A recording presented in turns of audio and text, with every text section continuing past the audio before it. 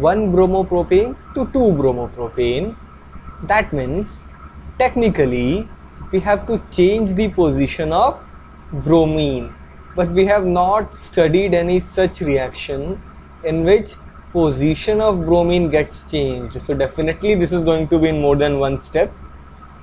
And the first step is just react with alcoholic KOH obviously elimination will take place Br will removed and uh, from the alpha carbon from beta the hydrogen would be removed in the form of HBr resulting into formation of CH3 CH double bond CH2 propene now I think you know what we need to do. Just add HBr again but this time huh, that's okay. So H goes to that double bonded carbon which has greater number of hydrogen Markovnikov's rule and Br goes to that double bonded carbon which has lesser number of hydrogen resulting into the formation of 2 bromopropane. I hope it's clear to you. We are uploading all the conversions of organic chemistry one by one easy to most difficult all of them.